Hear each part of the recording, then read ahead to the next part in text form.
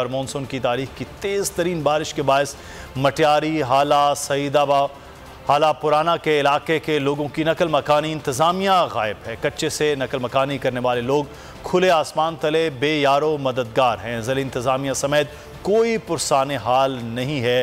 बोल न्यूज़ के नुमाइंदे मटियारी से शाहिद शम्स मेमन इस वक्त हमारे साथ मौजूद हैं। जी, शाहिद शम्स, आगाह कीजिएगा, क्या सूरत हाल इस इलाके में है? मानसून की बारिशों ने जैसे सिंध में तबाही मचाई हुई है, उसी हवाले से डिस्ट्रिक्ट मटियारी की मटियारी की बात करेंगे।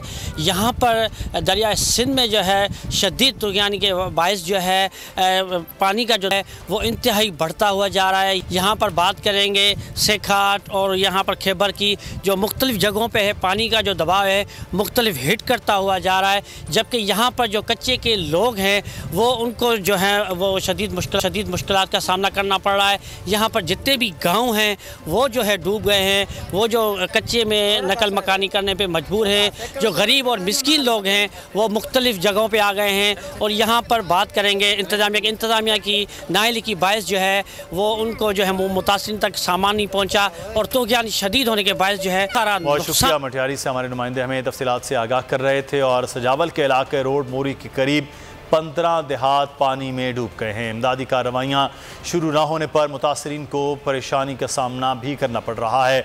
नज़ाकत अली शाह इस वक्त हमारे साथ मौजूद हैं। हमारे नुमाइंदे, जी, नज़ाकत आगाह कीजिएगा। क्या सूरत हाल, क्या सिचुएशन इस वक्त है यहाँ पर? मैं इस वक्त मौजूद हूँ सजावल ज़िला का जो साहली तहसील है शाह बंदर शाह बंदर शाह बंदर के ये मैं गाँव जुमन सोडाई में मौजूद हूँ। आपको बताएँ यहाँ के, करीब तकरीबन पंद्रह से जायद दिया इस वक्त बारिशी पानी उसमें दाखिल है और इस वक्त मुतासरीन सख्त परेशानी के आलम में और मुतासरीन यहाँ पर मौजूद है आप देख रहे हैं खवतिन भी है और मर्द भी है। इस हवाले से मेरे साथ एक मुतासरी मौजूद है इनसे पूछते हैं जी बताए क्या सूरत है कैसे? सर ये ये तो पानी देख रहे हैं आप। लोग, हम लोग हम लोग का घर सारा गिर गया, हम लोग के पास खाने पीने के लिए कोई चीज़ नहीं है। कोई बड़ा हम लोग के पास आया नहीं, अभी तक, अभी कोई बच्चा बच्चा हमारा बीमार है, कोई बीमारी के लिए ये कोई चीज़ नहीं है हमारे पास। हाँ जी बिल्कुल इनका कहना है कि हम बहुत परेशान हैं। हमारे घरों में पानी दाखिल हो गए घर हमारे घर जो मनत में गए डूब गए इनके बच्चे छोटे छोटे मासूम बच्चे वो भी बीमारी में मुबतला हो गए। इनका कहना है कि यहाँ पर में लसबेला से आगाह कर रहे थे ठट्ठा की। और लसबेला में निज़ाम ज़िंदगी अब भी मफलूज है। अब तक सरकारी आदाद शुमार के मुताबिक दस हज़ार से जायद घर मुनहदम हो चुके हैं। बाबर नसीर, हमारे नुमाइंदे इस वक्त लसपेला में मौजूद हैं, उनसे ताज़ा तरीन सूरत हाल जान लेते हैं। जी बाबर, आगाह कीजिएगा, क्या सिचुएशन है अब? माह से जायद का अरसा गुजर चुका है। लसबेला में बारिशों का न थमने वाला सिलसिला जलसिला जारी है। मुख्तलिफ़ सैलाब भी लसबेला की तरफ़ आ रहे हैं।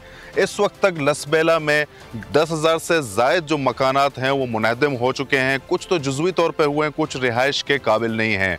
जेर नज़र आपको जो हमारे कैमरामैन आपको दिखा दे तो ये एक मस्जिद है जो शहीद हो चुका है। इस तरह के लातादाद जो मसाजिद हैं, वो पूरे लसबेला में शहीद हो चुके हैं। कई गोट के गोट जो है वो तबाह हो चुके हैं। लोयानी गोट की अगर हम बात करें तो वो भी मुकम्मल तौर पर सफ़ाई हस्ती से मिट चुका है। लोग इस वक्त बेयार और मददगार हैं, बगैर किसी साहिबान के। इस वक्त ये पोजीशन है लसबेला की कि न लोगों के सर पे छत है, न पैरों तले ज़मीन। लोग अगर आसरा रख रहे हैं गवर्नमेंट की तरफ़ से या एन की तरफ़ से या फिर मुखैर हजरात की तरफ़ से, वो इमदाद जो मिल रही है वो सिर्फ़ शहरी इलाकों तक इलाकों तक पहुँच रही है। जो इस तरह के देही इलाके हैं, यहाँ पर लोग अब भी गवर्नमेंट की तरफ़ उम्मीद की उम्मीद लगाए बैठे हैं कि शायद उम्मीद मिले वहाँ बहुत शुक्रिया हमें आगाह कर रहे थे लसबेला की सूरत हाल से मुतल और ज़िला जाफराबाद में नूर खान बुकटी शमशाह को शगाफ लगने के बायस गोट नसरुल्ला रंद के करीब 300 से जायद घर जेर आब आ गए हैं। लोग नकल मकानी करने के बाद महफूज मकाम पर मुंतकिल हो रहे हैं। मजीद तफसी जानेंगे बोल न्यूज़ के नुमाइंदे सरफराज सोलंगी जो इस वक्त गोट नसरुल्ला रंद में मौजूद हैं। जी सरफराज आगाह कीजिएगा क्या सूरत हाल इस वक्त यहाँ पर है? जी बिल्कुल, इस वक्त मैं मौजूद हूँ डेरा लहर के नवाई इलाके गोठ नसुल्ला रिंद में। आप मेरे अकब में देख सकते हैं, यहाँ पर नूर खान बुकटी सिम को जो है वो शगाफ लगने के बायस यहाँ का जो इलाका है, मुकम्मल तौर पर पानी की जद में आ चुका है। लोग अपने घर बार छोड़कर, नकल मकानी कर कर रोडों के किनारे जो है वो पनाह गुजीन हो चुके हैं। इस वक्त भी अगर मेरा कैमरा मैंने आपको दिखाया कि ये पानी का बहाव जो है वो बिल्कुल तेज़ी के साथ जारी है। इसने पूरे जो इलाका है पूरा जो उसको अपनी लपेट में ले, ले रखा है जिसके बायस सैकड़ों खानदान जो है वो बेघर होकर रोडों के किनारे पर आ चुके हैं। इस वक्त भी आप मेरे अकब में देख सकते हैं यहाँ पर ये आपको घर दिखाई देगा। ये मुकम्मल तौर पर पानी की जद में आ चुका है। लोग अपने छोटे बच्चे निकाल कर जो है वो महफूज मकानात पर मुंतकिल हो चुके हैं। जी। बहुत शुक्रिया सुरंगी। हमें तफसीत से आगाह करने के लिए जाफराबाद के इन इलाकों में जहाँ पर सैलाब से लोग दरबदर हो गए हैं और 300 से जायद घर जो है वो जेर आब आ गए हैं। सैलाब के मुतासा इलाके सिंध पन, जनूबी पंजाब बलूचिस्तान और खैबर पख्तूनख्वा जहाँ पर सैलाब ने तबाही मचा दी है। लाखों लोग बेघर हो चुके हैं और अपने घर बार छोड़कर इस वक्त महफूज मकाम की जानब वो नकल मकानी करने पर मजबूर हो गए हैं और हुकूमती इमदाद के मुंतसर हैं, लोगों से इमदाद के मुंतसर हैं कि किसी तरह से इस वक्त जो मुश्किल में हैं, उनकी मदद की जाए। तमाम वो लोग हैं जो अपने घर बार में मौजूद थे, सैलाब ने उन्हें तबाह कर दिया है।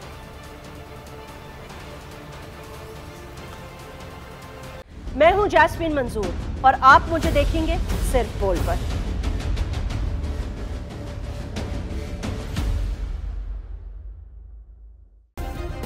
सब्सक्राइब करें और बेल दबाएँ ताकि कोई खबर रह न जाए।